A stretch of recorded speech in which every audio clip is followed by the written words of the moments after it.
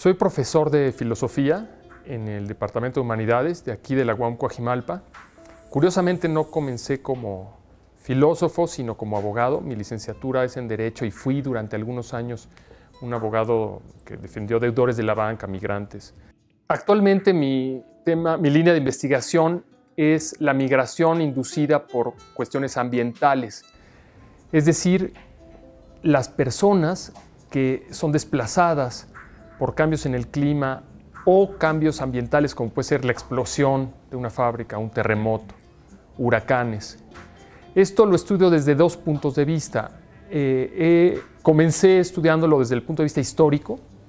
Hay muchísimas migraciones ambientales que ni siquiera las imaginamos como ambientales. Las invasiones bárbaras a Europa eh, surgían en muchos casos de se congelaban los pastizales o la escasez de agua, la sequía, etc.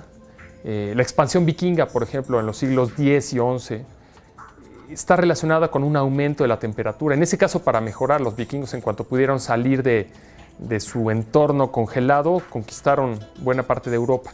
Bueno, ese es un aspecto, he publicado algunas cosas, un artículo con, con esto, y actualmente me interesa el llamado enfoque de socioecosistemas, es decir, hablar de ecosistemas sumándole la sociedad, porque de hecho la sociedad forma parte de la naturaleza, de tal manera que estudiamos desde el enfoque de socioecosistemas la conexión entre los elementos del socioecosistema, la diversidad y también los ciclos. Es muy importante esto porque la interdependencia produce ciclos que es fundamental conocer y se relaciona con la migración ambiental porque, por ejemplo, la deforestación en la Amazonia produce que la gente se vaya a vivir donde eh, queda deforestado, pero también es en, sentido inverso. Es decir, que la migración produce deforestación y la deforestación produce eh, migración. Y los ciclos son tan graves que si desapareciera, por ejemplo, el 40% de la Amazonia, los cambios en la precipitación pluvial, en las lluvias, podría provocar repentinamente la transformación total de la selva húmeda del Amazonas. Eh, entonces, esos temas que yo no soy científico, pero tiene que conocer quien está hablando de migración y de derecho para regular, apoyar, enfrentar la migración ambiental, es importante conocerlo. Todas las personas que trabajan en, en el enfoque de socioecosistemas tenemos una noción de, lo que esto significa. Bueno, y acerca de las aplicaciones de estas investigaciones, obviamente la historia tiene la aplicación que le da quien quiera, ¿no? Entonces es importante que haya ya libros de historia ambiental que reinterpreten muchos de los acontecimientos históricos en función de eh, periodos de calentamiento, de enfriamiento, y eso cada quien lo estudia como, lo aplica como quiere. Pero en la segunda parte, el estudio de los socioecosistemas es fundamental porque muchas veces los políticos, los jueces, los funcionarios ignoran totalmente que el colapso de, las comunidades, la, emergencia de la violencia, tiene que ver con que un ecosistema, eh, socioecosistema, está realmente perturbado. Ahorita estoy estudiando Centroamérica.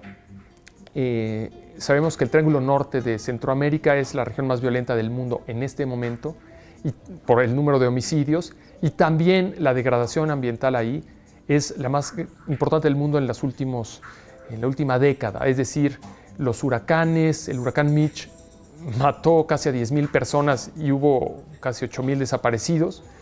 Eh, además, la fertilidad del suelo en Centroamérica, algunos calculan que se ha perdido 75% de tal manera que es imposible desvincular la violencia en Centroamérica de las causas ambientales. Y la migración que nos llega a México, como migración de paso o para establecerse en México, de centroamericanos en México, tiene que ser interpretada también desde este punto de vista. el enfoque es, muy importante y yo estoy trabajando en explicar eh, la violencia en Centroamérica y la eh, migración de centroamericanos hacia el norte también como un resultado de la degradación y la vulnerabilidad ambientales.